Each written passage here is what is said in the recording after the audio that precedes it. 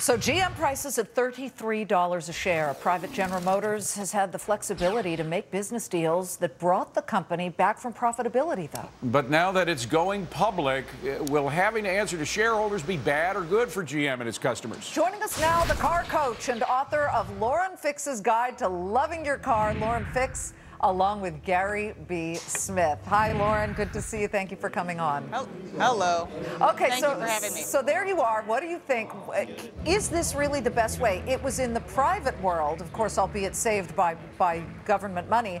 That suddenly General Motors was able to jettison a CEO who, for 12 years, did nothing but drive this company lower and lower into the morass. And, and they made a b- lot of changes and they got things on a fast track to really improve.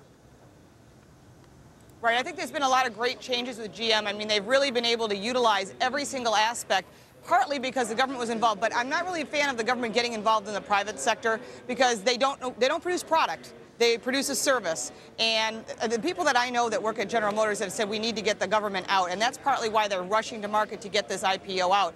I know Ralph Nader is trying to stop it, but it's happening. And it's going to happen at $33 a share. And like your previous guests had said, I know that price is going to go up huge tomorrow, but watch it dip down by next week. I, am thinking it's going to be below $30. Ooh. But I think the secret to GM's success, that's my opinion, I- as a car expert, um, but I think that what's going to happen is the reason that GM's success has been so great in the last three quarters having a profit is the fact they're using new technologies. They're using plastics, they're going with hybrids. They're really trying to be in the forefront and be cutting edge because they weren't that before because the previous CEO didn't do it. Well, Gary B., the, the business people might want the government to get out, but what happens if the government doesn't want to get out? I mean, the government, as I mentioned before, has some interest in of its own in owning a car company or having sort of uh, uh, a strong arm over what that, that car company does. Is there a chance the government might say, we want to stay in for a while?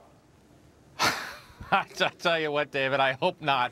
My gosh, you know, I, I've been looking at and thinking about, you know, what what is GM uh, akin to kind of government-run businesses, if you will, and and the only analogies I can come up with are kind of like Amtrak and the Postal Service, Oh, and as we've seen across the board.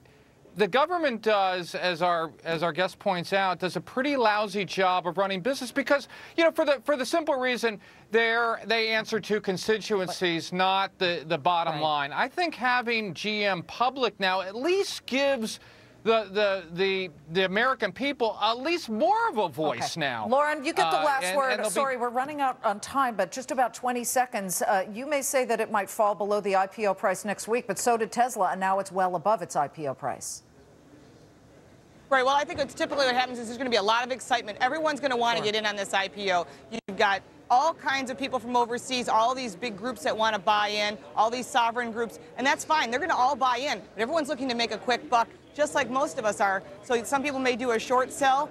Other people will want to stay in it. The consumer wants to get in, but it's a preferred stock and it could go to common at any point. So they're looking to get the government out, bring their ownership down to 40%, and I think we you got gotta leave watch it at that. Lauren, forgive me for interrupting. Lauren right. Fix, good to see you. Gary B, good to see you as well. And don't forget, you can find out a lot more about this by going to bullsandbears.com online.